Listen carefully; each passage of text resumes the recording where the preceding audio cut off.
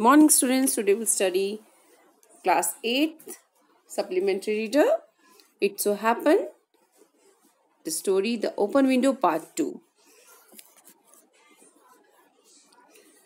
In part 1 हमने देखा था कि किस तरीके से मिस्टर नटल एक घर में आते हैं उनको नर्वस की प्रॉब्लम है और वहाँ पर एक बच्ची फिफ्टीन ईयर्स की बच्ची जो है उनको एक स्टोरी सुनाती है तो आगे क्या होता है, हम देखते हैं इसमें। Mrs Sappleton comes down at last and in evidently confirms her niece's story. और इसमें क्या होता है कि मिसेस सेपल्टन जो है, वो एट लास्ट नीचे आ जाती हैं और जो उनकी बे, नीज ने कहानी सुनाई, उसको कंफर्म करती हैं। Framton tries to acquaint acquaint his host with the nature of his alignment और जो मिस्टर फैमिल्टन रहेंगे इस पार्ट में, वो जो होस्ट है, जो लेडी है, उनको अपने बारे में अलाइनमेंट मीन्स अपनी हेल्थ के बारे में बताते हैं वो। Through the open window he can see see things that worsen his nerves अब जो ये ओपन विंडो के कारण जो इनका नर्व्स था, वो और भी ज़्यादा वर्स हो गया था। इनको और ज़्यादा प्रॉब्लम्स हो रही थी। तो कहानी में क्या होता देखते हैं हम। She up of with a little shudder. It was a relief to it was a relief to Frampton when the aunt burst into the room with the will of apologize, ap, apologize for being late in making her appearance. अब क्या होता है अब वो लड़की तो वो बताती है कि मिस्टर सेपल्टन के जो हस्बैंड हैं और भाई जो हैं वो आ, क्या हुआ था इसी साल मतलब कहाँ गए थे वो? शूटिंग के लिए गए थे और आज तक वो वापस लौटे नहीं ऐसा करके कहानी सुनाती है वो उसको। और वो इतनी उसने कहानी को थोड़ी हॉरर बना दी थी कि वो खुद भी डर मतलब बिल्कुल डर गई थी है ना? खुद भी डर रही थी वो। She broke up with a little shudder मतलब डरना। इट वॉज़ रिलीफ फिर रिलीफ टू फैमटम और फैमटम क्या थे? uh, वो जो लड़की थी वो इस तरीके से कहानी सुना रही थी उनको हॉरर की। तो फ्रैम्पटन को थोड़ा रिलीफ हुआ जब उनकी जो आंट थी वो उसकी, वो नीचे आई। बस्टल मीन्स आप बोल सकते हैं कि एंटर जल्दी से वो रूम में एंटर करती हैं और बार बार वो माफ़ी मांग रही है। वर्ल्ड ऑफ़ एपोलोजाइज मीन्स वो माफ़ी मांग रही है ना कि मतलब इतनी देर हो गई करके और अपने लेट आने के लिए वो माफ़ी मांगती हैं। आई होप वेरा लड़की का नाम क्या था? Vera has been amusing you he see said वो कहती है वीरा ने आपको बोर नहीं होने दिया होगा। और उसने आपको बिज़ी रखा होगा। She has been very interesting said Framton Framton कहते हैं कि नहीं ये बहुत इंटरेस्टिंग है।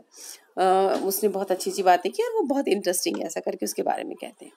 I hope you don't mind the open window said the Mrs Mrs Appleton briskly वो कहती हैं आपको ये खिड़की ओपन है तो आपको कोई इससे फ़र्क नहीं पड़ रहा होगा। My husband and brothers will will be home directly from the shooting अब वो कहती है, मेरे हस्बैंड और मेरे भाई जो हैं, वो अभी शूटिंग से घर आने वाले हैं and they always come in this way और वो इसी रास्ते से वापस आते हैं। They have been out of the spine in the martial today वो कहाँ गए हुए हैं? बाहर। स्पाइन मीन्स आप बोल सकते हैं जैसे दलदला इला जो दलदल वाला इलाका है, उस तरफ़ वो लोग क्या करने गए हैं? वाटर बर्ड जो स्पाइन मीन्स जो वाटर बर्ड्स जो मार्शल एरिया में रहते हैं मीन्स दलदल के एरिया में रहते हैं, वहाँ वो शूटिंग करने गए हुए हैं। और they have been out with spine in the marshes today so they will make a fine mess over और वो ऐसे द दलदल वाले इलाके पे गए हैं, गिरा दलदल रहता है जहाँ पे तो मिट्टी मिट्टी हो जाएगी। और वो जब घर आएँगे तो मेस मीन्स गंदा कर देंगे। पूरे जो कारपेट्स है, वो गंदे हो जाएँगे। सो लाइक यू मैं मैन फॉल इजंट इट और वो कहती हैं, ऐसा आदमी लोग अक्सर करते हैं। है ना? She rattle on the cheerfully about the shooting and the scarcity of the birds and the prospect prospects for the duck duck in winter अब वो वो बातें करने लगती हैं। क्या कहती है? सी सी रैटल मीन्स वो बात, बातचीत कर रही हैं। बहुत ही खुश होकर की बता रही है शूटिंग के बारे में और कि किस तरीके से आजकल बर्ड्स की कमी हो गई है और जो डक डक है वो भी विंटर में बहुत मुश्किल से ही मिलते हैं। To Framton it was all purely horrible क्योंकि अभी वो लड़की ने भी पूरी ऐसी कहानी सुनाई थी और वो लड़की ने तो कहा था कि वो बहुत साल पहले गए थे और अभी तक रिटर्न नहीं आए हैं ना, तीन साल पहले की बात कर रही थी वो। तो मिस्टर फ्रैम्पटन के लिए ये बहुत ही हॉरेबल था, डरावना था। फ्रैम्पटन के लिए देखिए, बैठ के सुना रही है, वो लेडी आ गई है ना? तो फ्रैम्पटन के लिए क्या था puree purely horrible he made desperate but only the partial successful effort to turn the talk uh, on to a less ghastly topic. He was conscious that his hostess was giving him only a fragment uh, of her attention, and her eye were constantly staring past him to be the open window and the lawn beyond. It was certainly an unfortunate co- coincidence that uh, he should have paid his visit on this tragic anniversary. अब वो कहते हैं कि बेचारे वो तो बहुत डर गए ये सब सुन के और मिस्टर नटल जो थे वो डर गए अम, वो बहुत कोशिश कर रहे थे डेस्परेट बहुत ही कोशिश एफर्ट लगा रहे थे कि कम से कम जो मिस्टर सैबिल्टन है वो भी पूरी वही कहानी बता रही थी वो तो वो बार बार ये कोशिश कर रहे थे, कम से कम ये जो गैस्टली मीन्स बोला से डरावनी जो बातें हो रही हैं, ये कम से कम ना हो अभी, है ना? और वो देख रहे, वो जी जानते थे कि जो उनकी होस्टेस है, उनका सारा ध्यान, वो उनको कम अटेंशन दे रही है उनका सारा ध्यान बाहर जो ओपन विंडो है जो लॉन के पास खिड़की है, सारा ध्यान उनका वहीं पे था। और ये बहुत अनसर्टन हो गया कि अनफॉर्चुनेट हो गया कि मैं उसी दिन पहुँचा हूँ जिस दिन ये ट्रैजिक एनिवर्सरी हुई थी मतलब जिस दिन ये ट्रैजिक हुआ था कि वो बाहर गए थे शूटिंग पे और, है ना, नहीं आए थे तो वही दिन मैं यहाँ पर आया हूँ, ऐसा करके वो कहते हैं। The doctors agree in ordering me complete rest और फिर ये बातचीत को चेंज कर रहे हैं कि ताकि ये हॉरेबल जो बातें हो रही थी, उससे थोड़े वो डरे हुए थे तो वो उस चीज़ को टॉपिक को बदलना चाह रहे थे।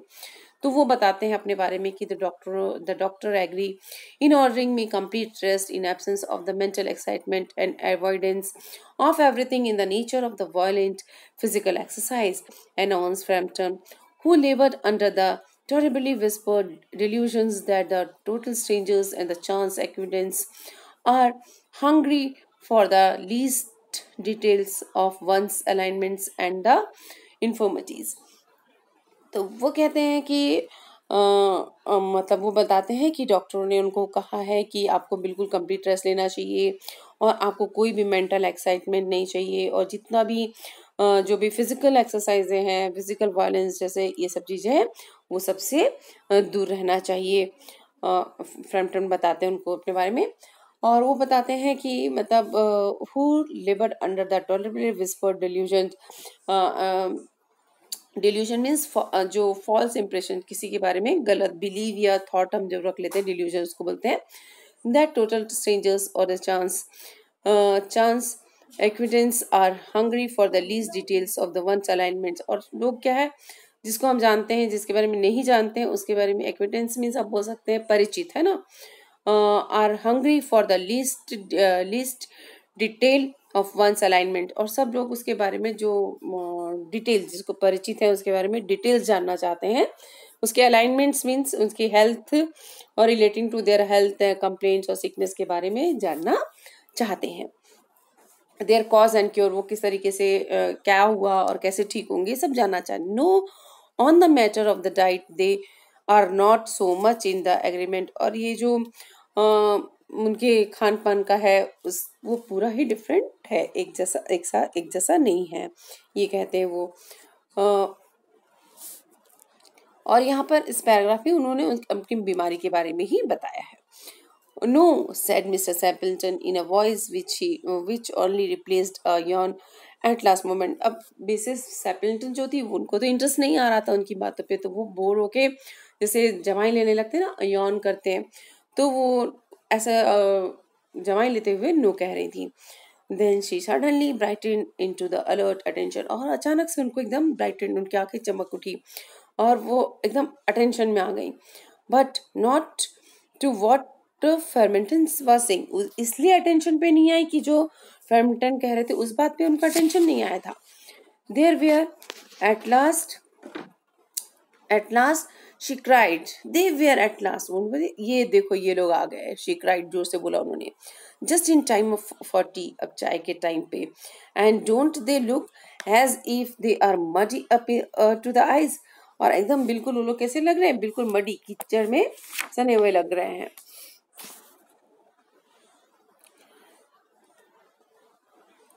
है ना? फैम देखिए, इस पिक्चर में आपको दिख रहा होगा कि उनका टेंशन पूरा वहाँ पर और तीन लोग वहाँ से पीछे से आ रहे हैं तो फ्रेंड उनको देख रहे हैं ना।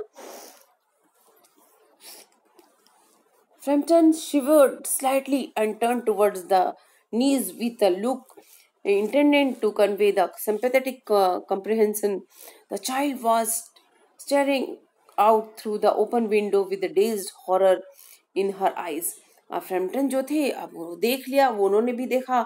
ये लेडी कह रही है सैमिल्टन की, देखो, वो लोग वापस आ गए, एकदम चाय के समय पे ही वापस आए हैं। तो फैमिल्टन तो उनको तो कुछ और ही स्टोरी पता थी। उनकी ने जो स्टोरी बताई थी कि वो तीन साल पहले ही चले गए थे, आज के दिन वो आए ही नहीं वापस अभी तक। तो उनके लिए तो एकदम हॉरर वाली बात थी। तो वो थोड़े शिवियड हो गए और डरे। और फिर शिवियड करते हुए थोड़ा नीस की तरफ़ देखते हैं। और ऐसा महसूस हो रहा था जैसे कि वो उसके साथ सिंपैथी दिखा रहे हैं। कि मतलब जो niece with look intended to convey the sympathy उनको सिंपैथी दिखाने के की तरह की वे में उन्होंने उसकी तरफ़ नीज की तरफ़ देखा।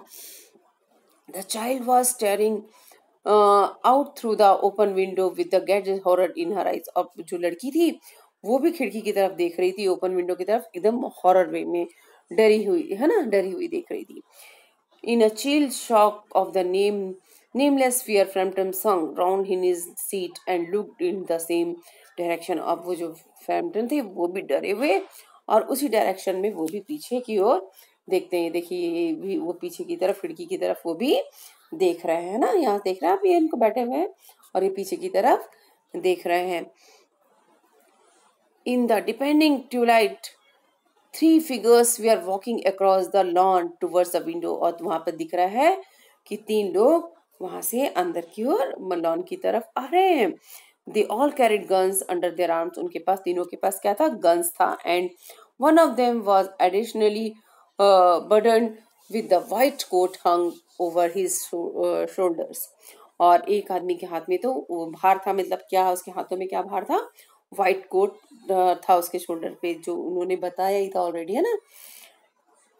Tired brown tired brown spaniel kept close at their heels और उनके पास जो का ब्राउन डॉग था ना स्पेनियल उसका नाम था, वो भी उनकी हिल्स के पास, पैरों के पास आ रहा था।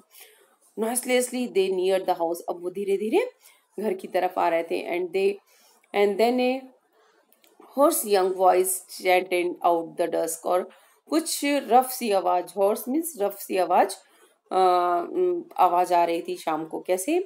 I say Bertie why do you bound वो जो गाना गा रहे थे ना वो लोग वही गाना फिर से सुनाई दिया। तो ये पार्ट टू था, अब इसके आगे देखते हैं। अब पार्ट थ्री में क्या होता है देखते हैं। What else can Framton do but do but beat a hastily retreat अब फ्रेम्पटन क्या करेंगे? क्या वहाँ से बिल्कुल भाग जा, भाग सकते हैं? हैड ही सीना क्या? क्या उन्होंने घोष देख लिया, भूत देख लिया? The niece does have a knack of explaining an uncanny coincidence और ये जो नीज है वो बहुत ही अनकॉन्सिडेंस अननेचुरल जो है और स्ट्रेंज इवेंट्स को भी बहुत अच्छे से एक्सप्लेन करती है देखते हैं हम इस स्टोरी में। आगे Framton grabbed wildly at his stick and hat और जो अपने जल्दी से उन्होंने हड़बड़ाहट में बिल्कुल अपने स्टिक और हैट को लिया। The the hall door, the gravel drive, and the, the front gate where the demi noticed stages in his headlong retreat. और वो जल्दी से जहाँ से दरवाज़ा खुला था, वो उधर की ओर से जाने लगे a cyclist coming along the road had to run into the hedge to avoid the imminent collision और जो एक साइकिलिस्ट रोड में आ रहा था साइकिलिस्ट आ रहा था साइकिल चलाते हुए उसको क्या हुआ? अपना साइकिल को रोकना पड़ा, क्योंकि ये इतनी हड़बड़ी में दौड़ रहे थे, कहीं इनिमेंट मीन्स अनअवॉइडेबल इंसिडेंट को या टकरावट कॉलिजन मीन्स टकराना। तो उसको रोकने के लिए कहीं टक्कर ना हो जाए तो उसको अपनी साइकिल को रोकना पड़ा था। Here we are my dear said the bearer of his white mackintosh coming in through the window अब वहाँ से जो आए, सब कोई विंडो से अंदर आए और वो ज़ोर से हाँ यहाँ हम आ गए हैं who was the who bolted out of as we came up और ये कौन था जो हम अंदर आए तो बाहर चला गया और मोस्ट एक्स्ट्रॉडनरी मैन बोलते एक अच्छा आदमी था mister Nuttall said Mr. said Mrs. Sableton. He would only talk about his illness. वो खाली अपनी बीमारी के बारे में बात कर रहा था and this is off without word of goodbye or apology when you arrived, और बिना कुछ बोले या गुड बाय या सॉरी बोले बिना ही वो यहाँ से चला गया। One would think he had seen ऐसा लग रहा है जैसे उसने भूत देख लिया। I accept it was it was the सेपनिल sir the knees calmly. अब बड़े प्यार से वो कह रही है, नीज क्या कहती है? मुझे लगता है वो सेपनिल जो है उनका डॉगी है, उसको देखकर वो भाग गए। He told me he had a horror of dogs उन्होंने मुझे बताया था कि उनको तो कुत्तों से डर लगता है he was once hunted into the cemetery somewhere on the banks of Ganges by pack of dogs and had uh, to spend the night in a newly dug grave with the creatures of snarling and grinning and foaming just above him enough to make anyone lose uh, their nerve वो कहती है कि एक बार मुझे उन्होंने बताया कि मेरे पीछे क्या हो गए थे सिमेट्री साइड में क्या हुआ था कि कुत्ते, पूरे कुत्तों का कुछ जो पैक ऑफ़ डॉग्स गैंग्स था, वो उनके पीछे लग गया था और इसकी वजह से उनको कहा ग्रेवल मीन्स आप बोल सकते एक जो नई कब्र बनी थी, उसके पास उनको पूरी रात गुजारनी पड़ी थी अजीब अजीब अजा, जैसे कब्र होगा, कब्रिस्तान होता वहाँ कैसे अजा, अजीब से सन्नाटे की आवाज़ आती है, कहीं पर गुर्राने की आवाज़ आ रही थी, कहीं पर एकदम हा हा हा, मुस्कुराने की आवाज़ आ रही है खुलकर, जो दांत दिखते हैं, वैसे खुलकर हंसने की आवाज़। और अजीब अजीब से सन्नाटा सा था। ऐसी आवाज़ में उनको सारी रात रहना पड़ता तो ये काफ़ी है बोलती enough to make anyone कोई भी इस, ऐसी तरीके से हालात में किसी का भी नर्वस ब्रेकडाउन हो जाएगा, किसी का भी नर्वस सिस्टम खराब हो जाएगा, जो जो उनका था मिस्टर नटल का। इस तरीके से सुनाती कहानी सोचो कि नीज ने उनको कितना हॉरर मतलब एक कहानी को उसने कितना हॉरर बना दिया, है ना? सुबह से गए थे और डरा दिया, बिल्कुल। और यहाँ पर उसने कह दिया कि उनको तो कुत्तों से डर लगता था, मिस्टर नटल को। तो बैठे बैठे उसने दो कहानियाँ बना ली लड़की ने, है ना? Romance at the short notice was her speciality क्या है? Romance at short notice means क्या मतलब होता है? देखिए finding occasion for fun and enjoyment कुछ ना कुछ ओकेजन ढूंढ लेना किसी फन के लिए, किसी इंजॉयमेंट के लिए, कभी ना जब भी पॉसिबल हो मतलब खुशी के लिए फन के लिए इंजॉयमेंट के लिए रास्ता ढूंढ लेना किसकी स्पेशलिटी थी? उस लड़की की। देखो, उसने दो कहानी बना ली बैठे बैठे है ना? तो इस तरीके से उसकी स्पेशलिटी थी, है ना? वो स्पेशल स्पेशल थी किसमें वो romance at short notice means finding occasion of for fun and enjoyment तो ये थी कहानी, और इसे लिखा था साकी एच एच मुंडो ने लिखा है। आप इसे रीड आउट कीजिएगा।